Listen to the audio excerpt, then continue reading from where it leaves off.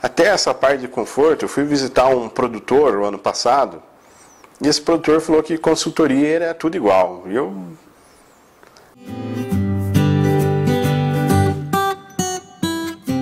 Isso me chateou naquele momento. Consultoria não é tudo igual, cada técnico tem um, um perfil, cada técnico estuda um pouco mais, um pouco menos, cada técnico tem suas características. E nessa propriedade, além de tudo, era palmeirense, né? Tive que tomar chimarrão na, na do Palmeiras. E aí, gostoso de visitar as propriedades é sair para caminhar às 11h30 da manhã. Saímos para caminhar às 11h30 da manhã e tinha um fio. Essas vacas estavam até na sombra, mas tinha um fio cercando elas e elas não conseguiam, não conseguiam deitar.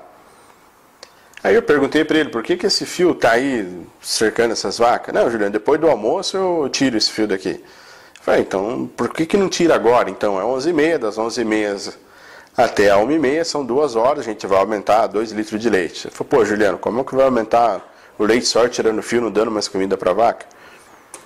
Vamos seguir a conversa aqui que ele me deu. Boa noite, Juliano, tudo bem? Boa noite, tudo bem, e vocês? Tudo certo, graças a Deus. Apliquei suas dicas e já estamos colhendo fruto. Ó, oh, mesmo? Sombra e banho fez nossas vacas saltar 2 litros de leite na média. 2 litros de leite na média num rebanho de 50 vacas são 100 litros de leite por dia. 100 litros de leite por dia vezes um ano, 365 dias. Estamos falando de 36 mil litros de leite, vezes um preço médio de 1,50 dá quase 50 mil reais.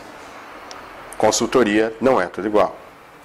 Será que a gente está realmente observando toda essa parte das vacas? Será que a gente está adubando corretamente? Será que a gente está soltando essa vaca no pasto na hora correta?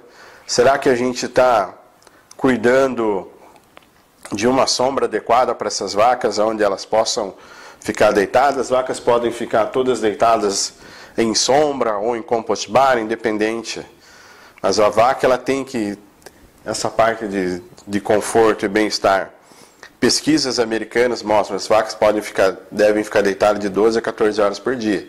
Se a gente não está conseguindo fazer isso na propriedade, infelizmente a gente está deixando de produzir leite.